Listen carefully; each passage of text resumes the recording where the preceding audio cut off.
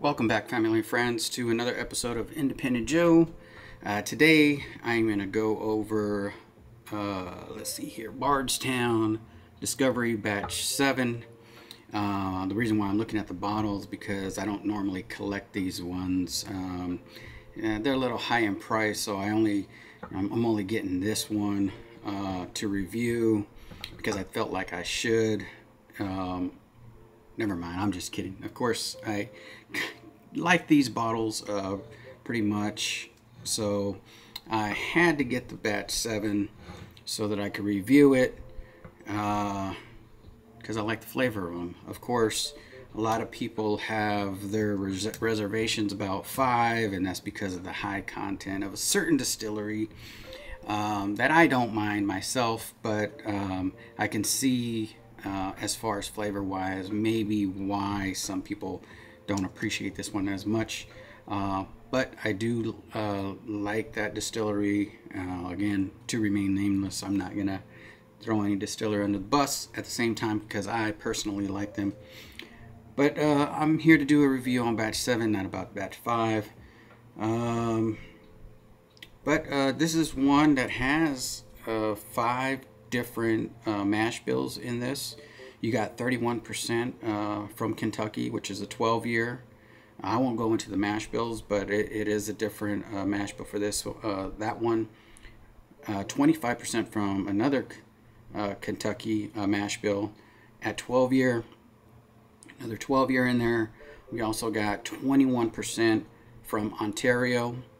that will be a 12 year as well and then you have 15% uh, um, that Ontario is just straight corn whiskey, by the way.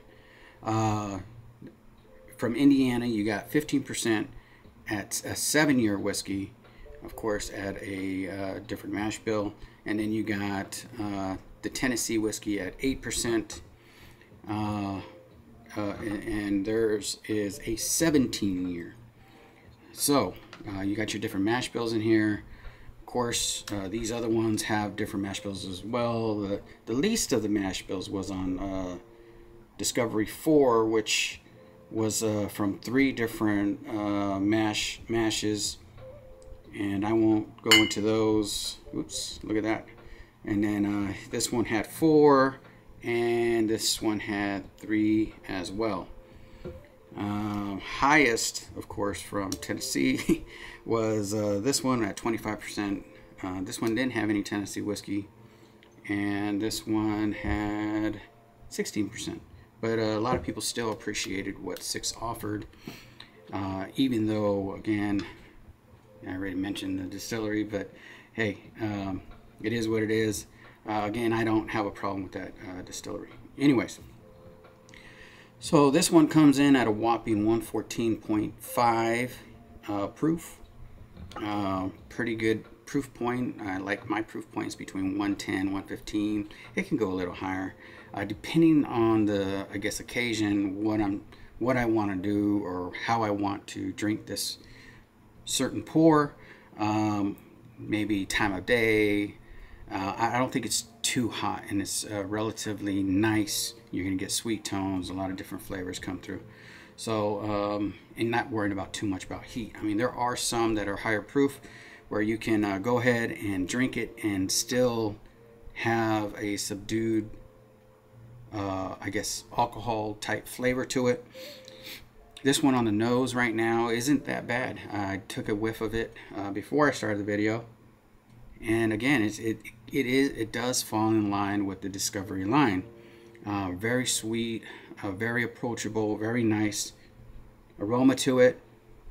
Um, I, you do get a, a, hint of orange which sometimes is um, I guess associated with uh, Tennessee uh, whiskeys or at least a certain Tennessee whiskey but it's still nice, still approachable, still uh, not alcohol forward, even at 114.5 proof.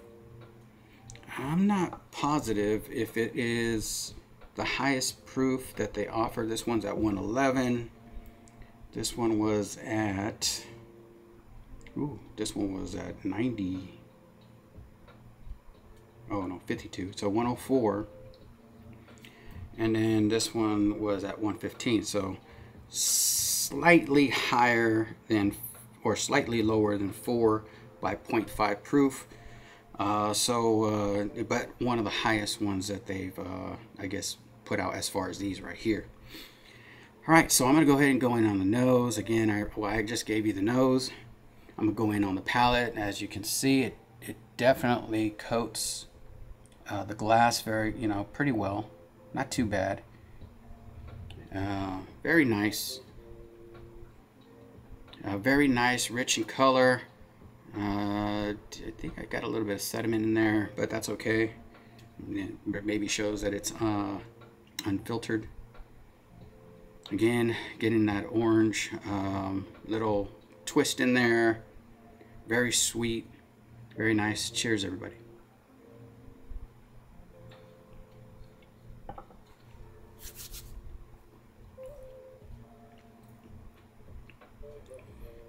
Very, very crushable. very, very nice. Very sweet, very coating. Um, this is one that I definitely, wow. I mean, you get it. You get the right amount of spice with the right amount of flavor. a little bit of that orange comes through, but not uh, not a medicinal orange, but but pretty pretty nice in tone and flavor. I really like it. I'm going for a second drink. Not that it, it went away, um, but it, it, it, yeah, definitely on the back end, uh, you, you're getting some of that oak, those oak tannins, those oak flavors. Really sweet, really nice.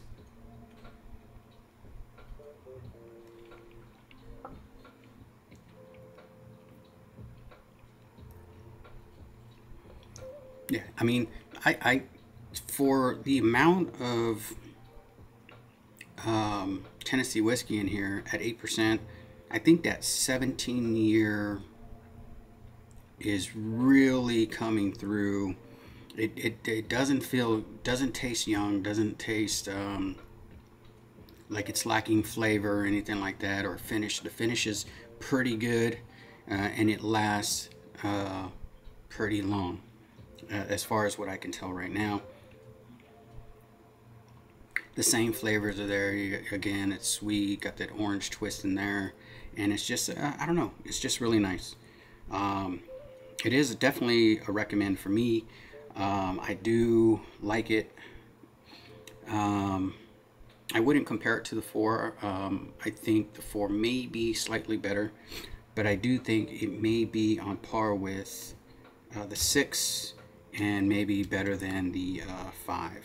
So if you're a fan of the Discovery line, um, of course, um, it isn't, it wouldn't be uh, wrong for me to say that uh, you should probably grab one if, if this is your flavor profile because I think it's in line.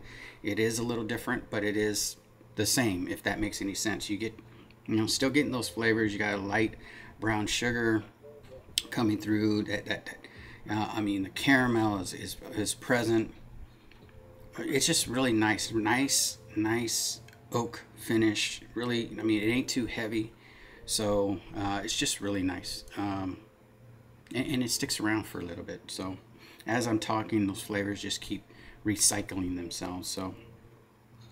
Uh, for me it, it, again it's it's a go. Um, I like it and I would recommend it to anybody who's who likes this flavor profile which Discovery uh, Bardstown uh, normally tries to keep their discovery line and their in their fusion lines, you know, in that same uh, wheelhouse, that same profile. So um, I really like it. Appreciate you all tuning in. Um, if you haven't already, please hit like and subscribe. For those of you who have already been subscribers for a while, uh, maybe think about uh, joining the Patreon. Um, got a few uh, thing, things I'm working on there. Uh, I'm going to start posting more stuff. But um, anyways, appreciate you. Thank you for uh, hanging out, and I'll see you on the next one. Have a great morning, e uh, afternoon, or evening, depending on when you're watching this. Thank you. Have a good day. And of course, And of course, oops.